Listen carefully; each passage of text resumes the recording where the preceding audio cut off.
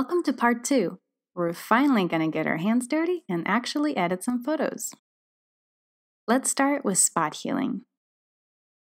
I know this is a shocker, but a very common photo fix that people want to learn is how to get rid of spots and pimples in their portraits.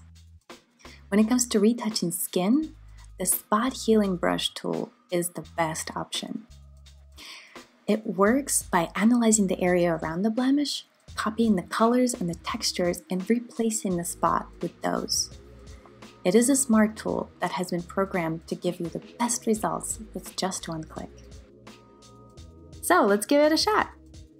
Open one dash spot Heal from the practice pack. You may need to zoom in closer to the spots you want to work on. In the navigation section of the toolbar, choose the icon that looks like a magnifying glass and click on the portion of the photo you'd like to see closer. Then, higher up in the toolbar, choose the Spot Healing Brush. It's the first icon in the Painting Tools section, and it looks like a band-aid with a little sparkle. Mouse over one of the spots and see if the circle of the pointer covers the spot completely. Do not click anything yet, we're just trying things out for size. If the circle is too small, hit the right square bracket on the keyboard until it covers the spot completely, but just so. There's no need to go bigger than the spot itself.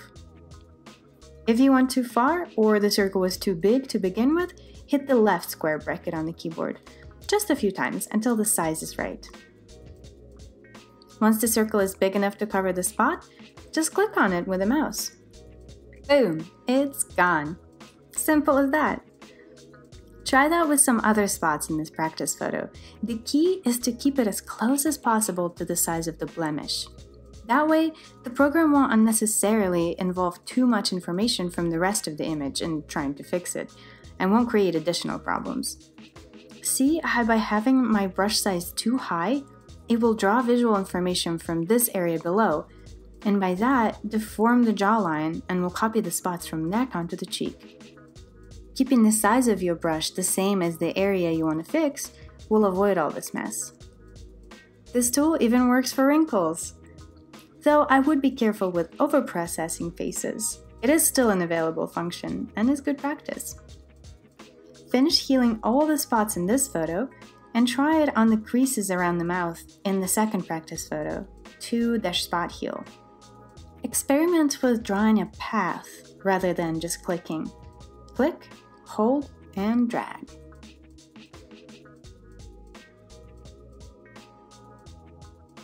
Let's learn some common fixes for when your photos are too dark. In the practice pack, open 3-dash exposure. This photo is what is called underexposed. When it was being taken, the shutter closed too soon and didn't get enough light into the camera to properly show all the detail. This resulted in it looking pretty dark. When you zoom in, you can see that the visual information, the pixels that make up grasses and rocks, are actually there. So how do we bring them out into the light? Wait a minute, what is a pixel, you ask? Use that magnifying glass zoom tool for me a few times. Keep clicking until you see tons of different colored squares separated by thin gray grid lines. Those are pixels. Each photo is made of thousands of these tiny dots, coming together to form a complete image. Click Fit the Area in the options bar to see the whole picture again. Now, let's try the obvious. In the Image menu under Adjustments, there is a command called Brightness and Contrast. Select that, and in the window that pops up, drag the brightness slider all the way to the right. It is a scale from 0 to the left to 150 on the right. This lights up the ground alright, but not a whole lot of detail, and it blows out that spectacular sky. Click the cross in the top right of the window to exit without applying the changes. Since this photo is underexposed, what if we try adjusting exposure? In the same place, Image, and Adjustments, find Exposure.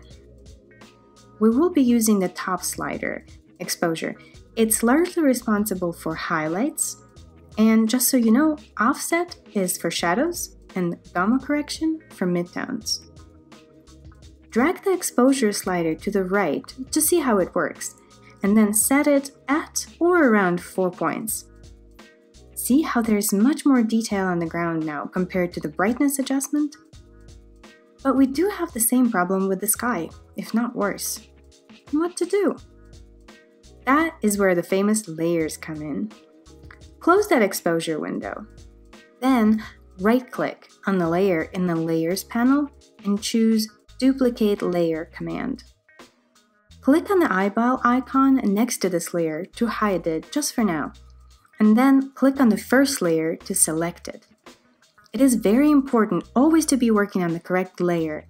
Some of your first troubleshooting when brush strokes are not showing up or something is just not working right is likely to be making sure that only the layer you want to make changes to is highlighted. Go back and turn the exposure up 4 points the same exact way we did before. Then click OK to confirm changes. Now click the eyeball next to the top layer to show it again. Notice how with the unchanged copy of the original sitting on top, it looks like the exposure adjustment had been undone. But if you look at the thumbnail on the bottom layer, you will see that it's still there. The next step would be to erase the ground in that top layer so that the original beautiful sky from the top layer would cover the washed out one on the bottom.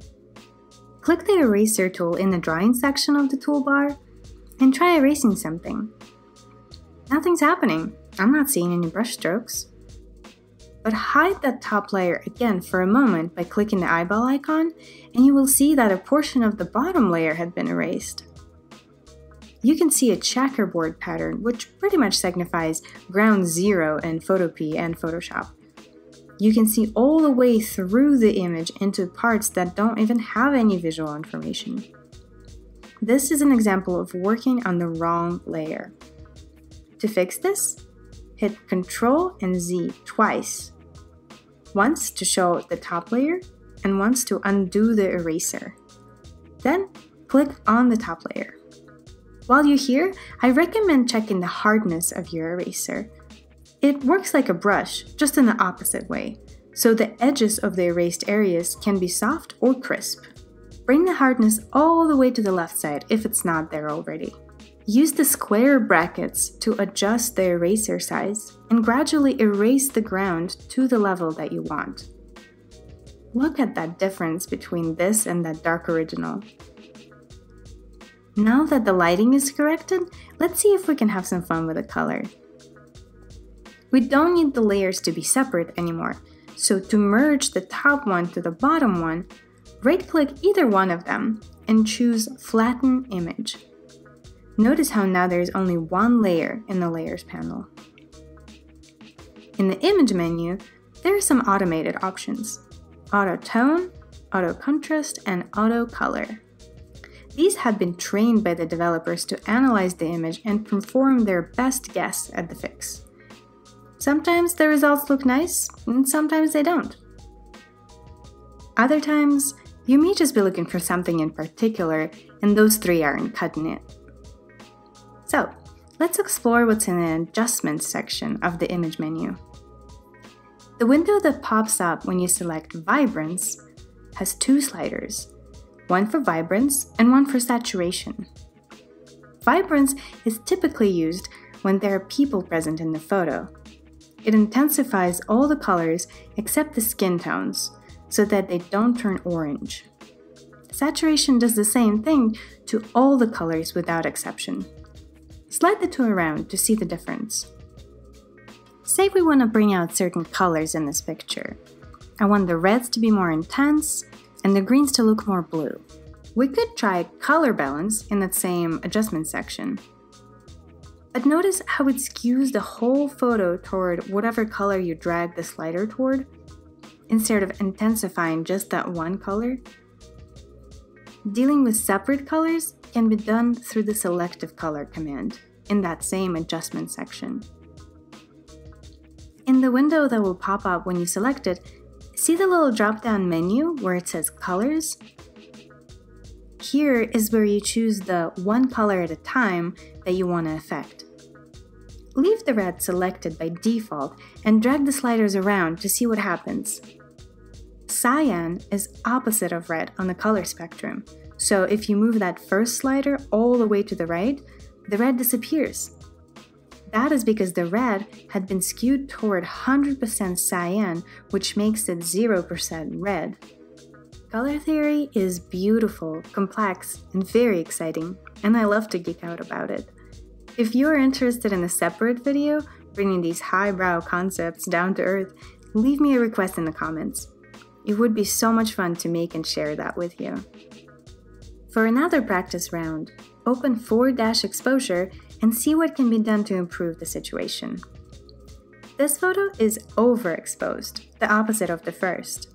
How can you fix it? There are some issues with the colors too, so make sure you experiment with those commands as well.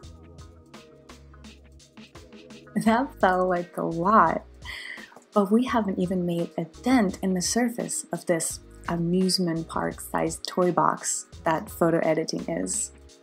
That's right, all it is is a vast set of tools there to serve you. Learning them all at once is impossible and honestly unnecessary. After using Photoshop and programs like it for 20 years, there are still areas of it I've never touched. When it comes to this game, practice is king. So try to make time for it at least once a week. And remember, many techniques in photo editing build off of each other. So everything that you're learning and practicing right now is scaffolding for other skills.